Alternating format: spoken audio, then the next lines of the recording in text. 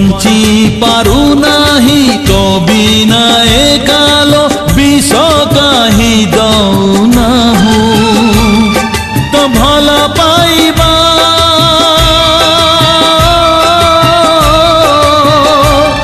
तो भला पाई पाइबा थाऊ थाऊ सेती की